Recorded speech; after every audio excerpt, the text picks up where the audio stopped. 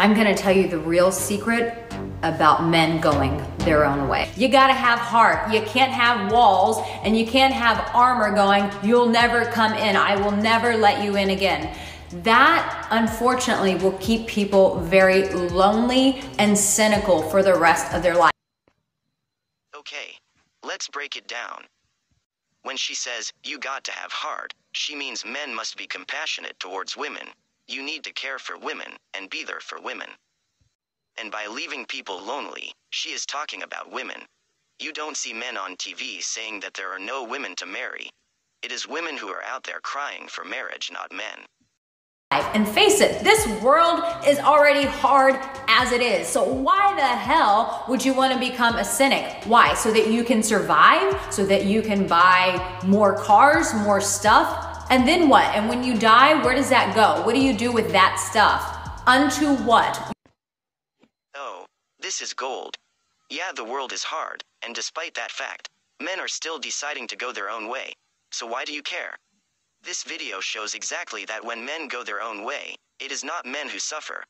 Look at how she is trying to shame men for going their own way. Yes, madam, they are buying their cars, living their own lives. Why do you care? Live your life and let people live their lives. And they have this whole convention every year called the 21 Convention, where it's just teaching men how to be better, right? And on paper, that sounds great, right? That sounds like a great idea. But when it actually happens, when you see it, it's basically just a bunch of misogynistic dudes teaching other dudes how to treat women like shit. This idiot has no idea of what he is talking about.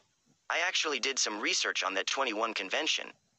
And yeah, this idiot has absolutely no idea of what he is talking about. MGTOW, MGTOW, mediocre men to optimum women. Insults are the arguments employed by those who are in the wrong. Jean Jacques Rousseau. There is this extreme sense of MGTOW. And this is men who completely want to dissociate themselves from women altogether. They don't even want to communicate with any women, whether it be family, a neighbor, a friend. Once again, why do you care if a man decides not to interact with women? And right off the bat, I'm sure you guys can see why this is problematic. Instead of empowering women and being happy that women are being granted more rights when it comes to business, when it comes to politics, when it comes to all across the board, women are progressing.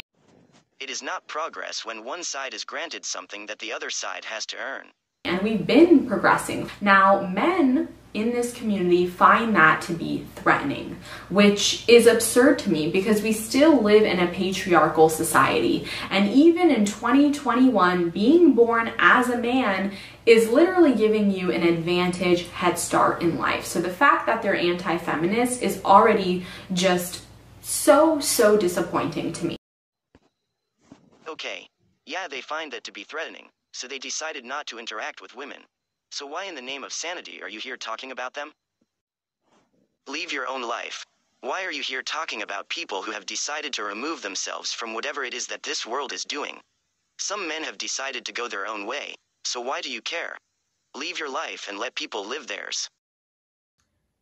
Be, I don't know, particularly scrutinizing when it comes to the type of women that they date. They no longer want to be considered the breadwinners, if you will, in their relationships. A lot of MGTOW men believe wholeheartedly in 50-50 relationships where both the man and woman carry equal weight in the relationship. A lot of these men are just absolutely refusing to give the time of day um, and validation, if you will, to women or putting them on a pedestal is what people like to call it. They don't want to put women on a pedestal and make them the prize anymore. They're no longer wanting to assume their natural masculine role of provider and caretaker in a way, as far as like providing for the household and all of that stuff. They feel as though they shouldn't have to do that because all of these women out here are gold diggers and they're only after their money and the only way that they're going to settle down with the woman is if she's willing to stick in there and go 50-50. Or for some men, even her be the breadwinner so that he can sit at home on the couch. You know what I'm saying? So no, you don't need women. for anything really. But Jessica, what about love? Okay, here's the thing. Yes, I very much do believe that love is something natural we're all inclined to do. I do believe that love is the greatest thing on earth. But here's the thing love is not wanting, love is not needing. Love, in and of itself, is giving. In fact, it's giving without expecting anything in return. Literally, when you truly love something, you don't motherfucking want anything in return or expect it or wait around for it and say, well, you know what? I did all this for you. So, like, this is what you have to give me back. Or even, You know what? I like bought all shit for you and you like don't put out ever. Huh. so if you're in a state of like, I don't get it. Like I did all these nice things for her. Like, uh, why won't she like come back around and like sit on my bean? if you really feel like you need her to reciprocate that badly, you need to take a look at yourself and why you feel that. Oh boy. Is being stupid the new hype trendy thing? Ma'am, they are deciding to go their own way. Which means they understand all that crap, and have decided to go their own way. Why are you talking about love when someone has already made the decision to go their own way? Men Go Their Own Way, or MGTOW, have sworn off women completely, saying their lives are better and more productive and fulfilling without women in their lives at all.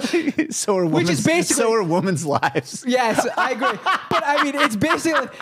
It's, ba- it's, you gotta give me a second to digest it's, it's basically though saying like it's basically like women saying like we have no interest in you and them going uh uh oh yeah well we don't have any interest in you first Yeah, buddy.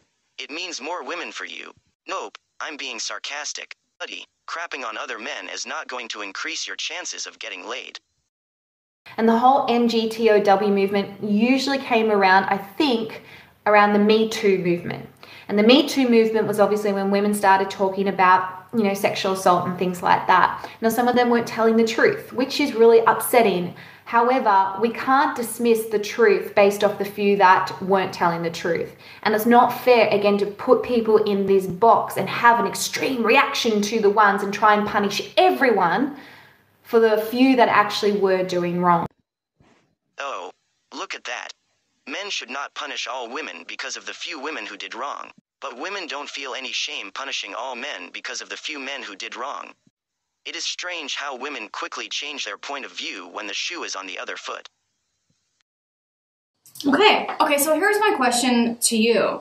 Now, from what I understand, men join MGTOW because they have a huge fear of being put in a situation where the legal system is uh, contributing to their pain, whether it's a fake rape or sexual assault allegation, or being put in a situation where divorce is making you feel miserable emotionally, financially, or otherwise. See, here's the thing though. Like, if you get to know a woman and you go on dates and you treat this woman with respect and she treats you back with respect because you chose a woman who has values first um, before choosing her on her appearance, let's say, or um, on how attractive she is in other ways.